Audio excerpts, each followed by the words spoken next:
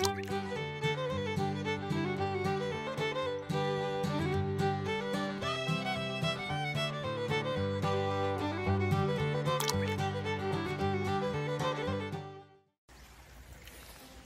いこんにちは。田んぼの天使の井上です。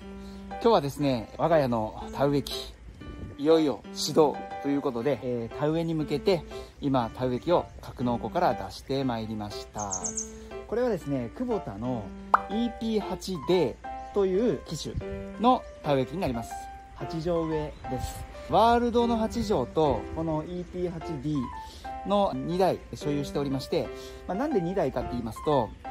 有機無農薬とか減農薬とか飼料用米とかいろいろ作ってるわけなんですけれども一回一回こう肥料をですねなんかきれいにして洗浄したりとか機械自体のこう泥を落としたりとか洗浄そういった手間をこう少しでも省くためにこの機械は何を植えるこの機械はどういったものを植えるっていう風にまあ、その時その時で区分けをしてできるだけ田んぼでのロスがないような形をとっています。なので、えー、有機を植えるってなった時はもうこれは有機専用みたいな形で、えー、使えますしまたあの品種が変わったりした時もこの機械はこの品種。例えばワールドの方は花一膳でこの EP の方はコシヒカリみたいな形で使い分けています。まあですねなかなか人員も少ない中ですね回さないといけませんので、まあ、私自身が、まあ、機械に乗り換えたりというような形で田植えを進めています。はい。でですね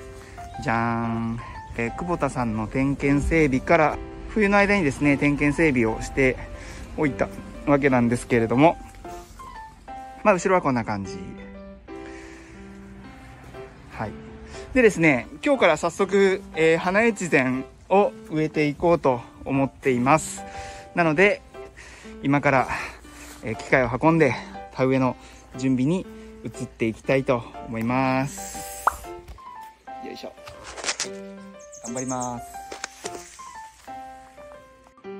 はい。それではですね今、えー、EP8D の方に乗っています。この EP8D なんですけどまずここにエンジンスタートのスイッチあります。でブレーキ踏んでかけると、えー、若干温めてはい始動まああのディーゼルなんで結構ごっつい音しますよね。でもこれが田んぼで力があるようなことになります。いただくといろいろあるんですけどまずこちらのゲージが燃料。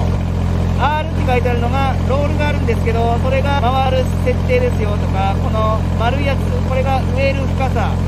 こういったものも変えれます。でターンの時に自動で後ろの植え付け部を上げ下げしてくれるとか、まあ、そこはまあちょっとあの泡メーターとかですね、まあ、割と350時間乗ってる方かな、まあ、そういった流れです。でね、えー、深さもこのダイヤルで調整できますし、ローター入り切りとか自動植え付け、先ほどのあの、回った時に後ろを自動で上げてくれる。で、また、回り終わったら、えー、自動で後ろを下げて植え付けてくれるというようなものがこれですね。で、このあぜ際スイッチってあるんですけど、これ何かっていうと、こう押すことで、後ろ8畳あります。なので、2畳ずつ2、4、4、パンと、